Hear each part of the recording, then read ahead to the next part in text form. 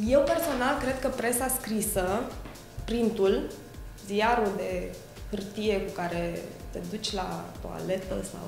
așa, uh, cu care se duc bărbații la toaletă, că femeile nu se duc, nici cu ziare, nici cu cărți, uh, cred că o să devină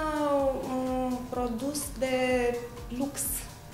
o să, ră, o să rămână probabil câteva reviste, câteva ziare în ediții foarte frumoase, uh, un layout foarte frumos, foarte elegant, care vor fi citite la cafea